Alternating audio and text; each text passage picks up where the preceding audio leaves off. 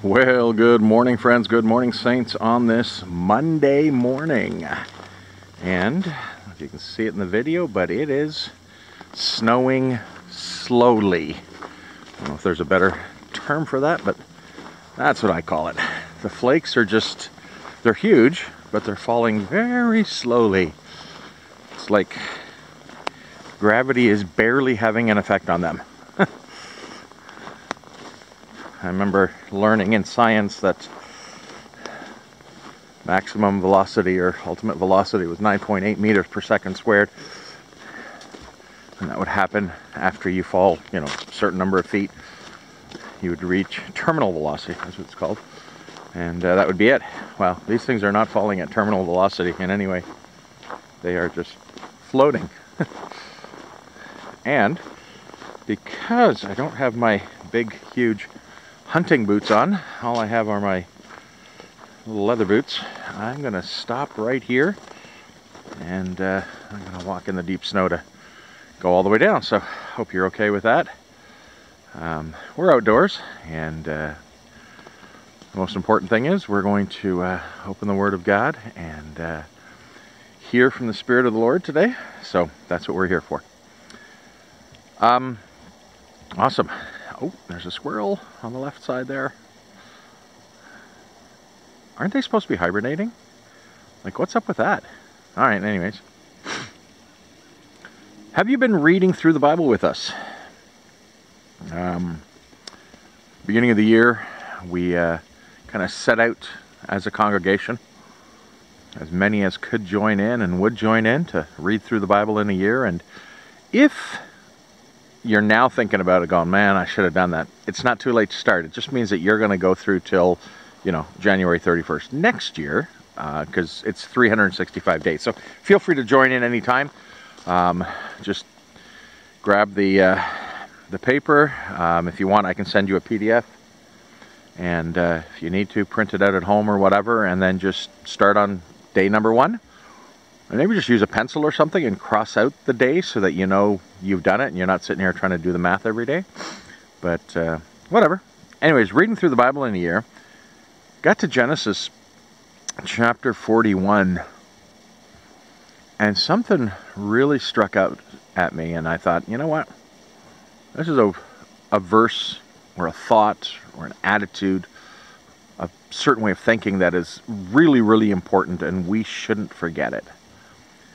And I hope this encourages you to step out in faith and hopefully do a lot more for the kingdom than you've ever done before. It's part of the story of Joseph.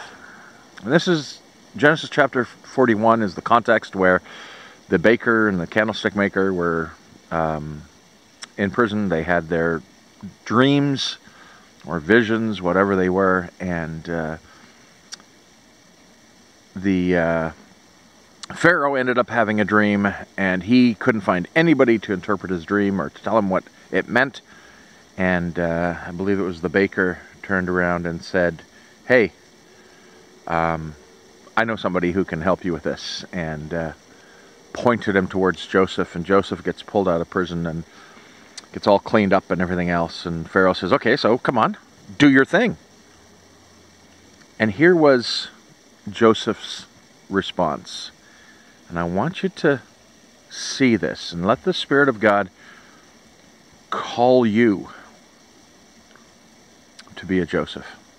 Please. Here's what the Spirit of the Lord said, uh, recorded in Genesis 41, verse 16. I cannot do it. All right, first off, get this golden opportunity to get out of prison, um, and uh, or at least a you know, show off God. And Joseph's first response was, uh, Yeah, you want your dream interpreted? Guess what? I can't do it. That is critically important to remember, and I'll explain here in just 30 seconds why. Joseph replied to Pharaoh, But God will give Pharaoh the answer he desires. Pharaoh went on to explain the dream. Joseph, receiving from the Lord, went on to interpret it and, uh, well, the story changes forever. Not just for Joseph, but for the people of Israel, for the whole nation. that was the, the turning point. One of the most critical moments in Israel history. Because Joseph said, I cannot do it, but my God can. Friends, you might have friends or loved ones or neighbors who need something incredible, need a miracle, whatever that might mean.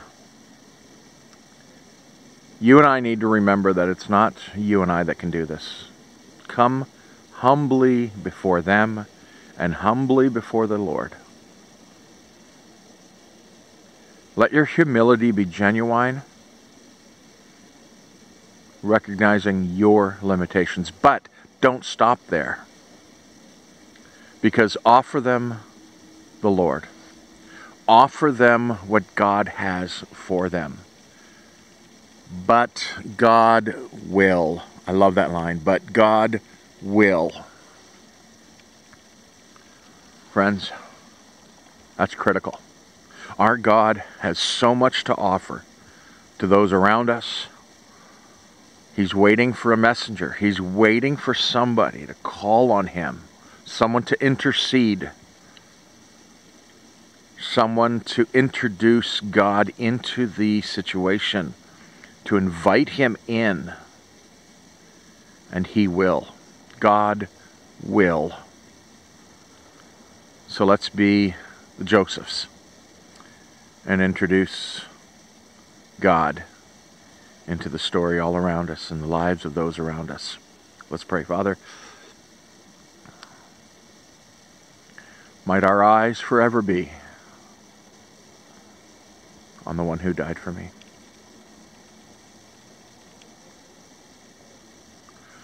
might I always see what God can do and will do in a situation. Give me those eyes of faith, I pray. Help me to be bold and to humbly introduce you, O oh God, into the lives of those people around me, into their situations, into their need, into their desperation.